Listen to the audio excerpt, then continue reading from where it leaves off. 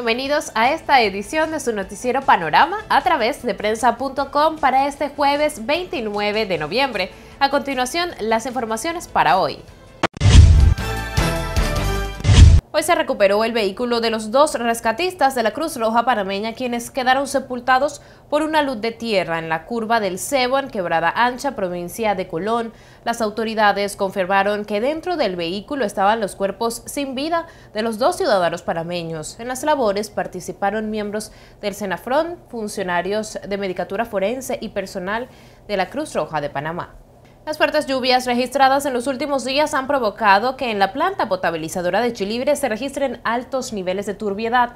Las autoridades del Instituto de Acueductos y Alcantarillados Nacionales prevén que la turbiedad baje un 5% este jueves, mientras que el Ministerio de Salud recomendó filtrar, hervir y clorar el agua para su consumo. Avanzamos. El Pleno de la Asamblea Nacional ratificó hoy a los directivos del Fondo de Ahorro de Panamá, miembros de la oposición cuestionaron la ausencia de la mayoría de los directivos. En la instancia del fondo fiduciario había representaciones de los sectores populares. Esta instancia, esta representación ha sido excluida por parte del gobierno nacional y ha dejado a siete familias de la oligarquía panameña eh, que tienen todo el derecho, pero también los sectores pobres y estudiosos del país tienen derecho. Lamentablemente ahora sí estamos viendo que el gobierno le quiere meter mano como siempre, a estos recursos sin mayor razón. Hemos visto cómo hay sobrecostos y nos da miedo que el dinero del FAP que se usa para inundaciones sea mal usado y al final se lo roben o se lo lleven para su casa algunas personas que, usando la necesidad del pueblo,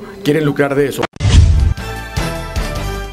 Pasamos al plano internacional. Un total de 193 países se pronuncian hoy sobre el pedido de reconocimiento palestino del estatus de Estado no miembro de la ONU. Los palestinos aseguran contar con el voto favorable de al menos 140 países miembros de la Asamblea y confían en lograr todavía más respaldos hasta antes del comienzo de la sesión plenaria. Y en el Teatro en Círculo se presenta hasta el 9 de diciembre Tarzán el Musical, con un elenco de actores panameños con muchísimo talento y precisamente con algunos de ellos conversé detrás del escenario. Veamos.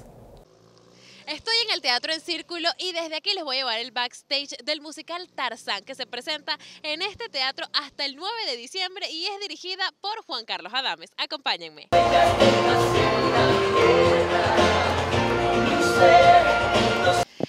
Ahora con Andrés Morales que interpreta a Tarzán. ¿Cómo estás? Bien, muchas gracias. Bien, bastante emocionado.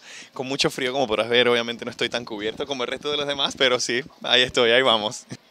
Tarzán se ha, tenido mucho en mí y yo creo que Andrés en Tarzán, ¿no? Yo creo que esa simbiosis de, de actor y personaje ha sido más especial haciendo este personaje, definitivamente. Puede quedarse. Gracias, Gertrude. Será un buen hijo. Dije que puede quedarse. Estoy personificando a Jane, a esta chica londinense, citadina, que llega y se adentra a este mundo totalmente nuevo y diferente para ella y en el cual va a experimentar emociones, sensaciones y conocer. ¿Qué cosa es? Es un cachorro. Hasta el 9 de diciembre para aprovechar y venir a verlo aquí en el Teatro en Círculo. Estamos de miércoles a domingo con dos funciones los sábados, dos funciones los domingos ahí para que aprovechen y traigan a toda la familia que sabemos que la van a disfrutar muchísimo. Ya saben, no se pierdan Tarzán el musical con el que se cierra la temporada de musicales 2012. Y sigan pendientes de prensa.com que le da cobertura a todos estos eventos. Ahora pasamos al resumen de las informaciones que publica la prensa este viernes 30 de noviembre. En Panorama llevamos detalles de las labores de búsqueda de los dos rescatistas panameños.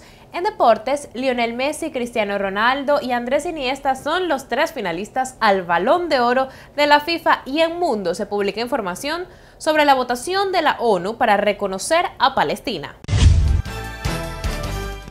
Recuerda este viernes buscar la nueva edición de la revista Ellas en la prensa. Así llegó a la parte final de Panorama. Nos vemos mañana.